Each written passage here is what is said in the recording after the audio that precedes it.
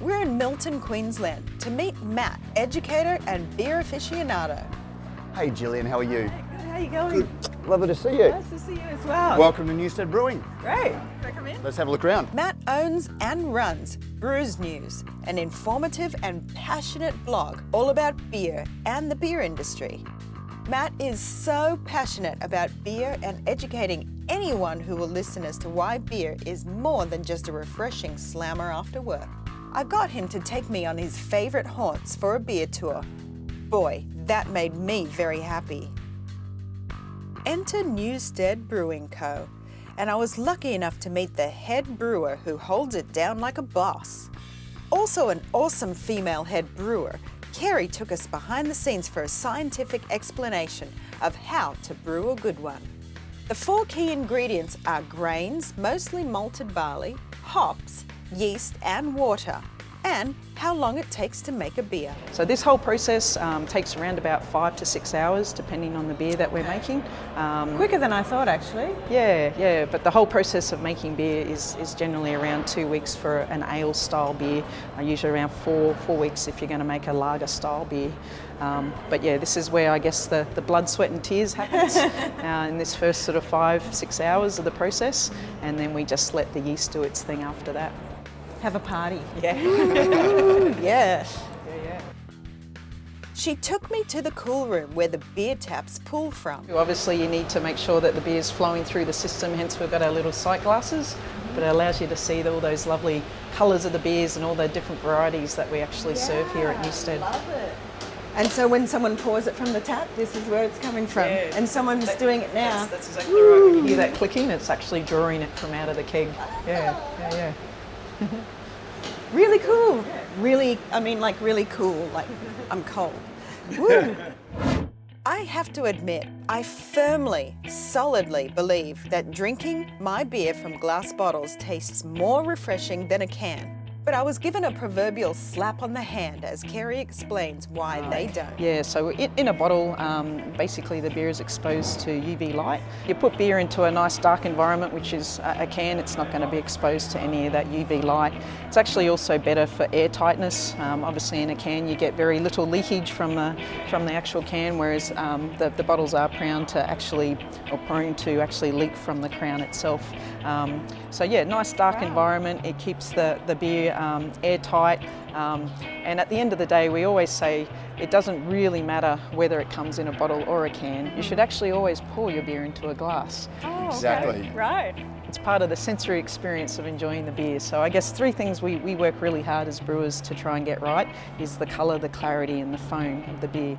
Two of which I note are the same qualities used to grade diamonds. Well, that'll be easy for me to remember. So buying yourself a nice glass, having a nice beer glass and pouring your beer into that glass not only allows you to appreciate those things that we've worked so hard to, to actually get right, it also starts that sensory experience with the beer. You get to see it, you get to actually put your nose in, smell all those lovely hop aromas before actually enjoying the, the beer itself. And also I guess especially for, for myself being a woman, it's, it's, I love it because it actually dissipates a lot of the carbon dioxide from the beer, stops you feeling less, uh, it make, make, makes it less bloated. So um, You don't- get you rid of burp as much? That's right, that's right. Just Yeah. It's one of the things that I'm so proud to represent Newstead. It's a family-owned business. Um, it's, it's Brisbane all the way, uh, Brisbane owned, Brisbane produced, to a Brisbane packaged product. Everything about us is local in Brisbane. So it doesn't mean that people have to come and support Newstead, but obviously supporting uh, your, your local uh, brewery or uh, local bar is, is, I think, key to making sure that our um, industry is sustainable into the future. Keeping it close to home. That's right. Yeah, love yeah, that. Yeah, yeah. Next up, we did a beer pairing with foods and desserts at the Port Office Hotel and Restaurant in Brisbane CBD. We went into their wine room for a beer tasting. Funnily enough, it worked. So we're going to have a bit of fun with this, Jill. G'day, John. Uh, now, tell Jillian what we've got here. We have some Merimbula rock oysters from Sydney coastline. Lovely. So you'll find them small, creamy, and plump Very for you to nice. enjoy. Now, I know that you- you're not a huge fan of dark beers, but we're going to start with that one. Now, because we're drinking beer, Um, we're, we're using a wine glass, not because we want to be wearing cravats and we're getting all hoity-toity, but the glasses are the same. It does let us give the glass a bit of a swirl. Do you really do that for beer?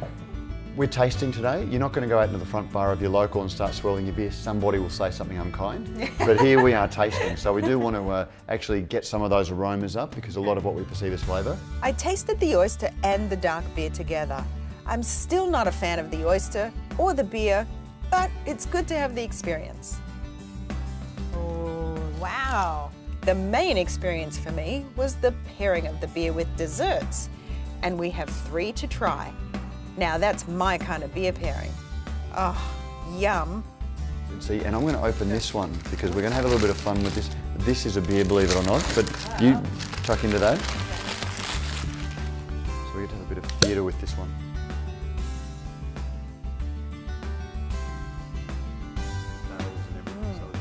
It, it is really quite complex. Oh, yeah.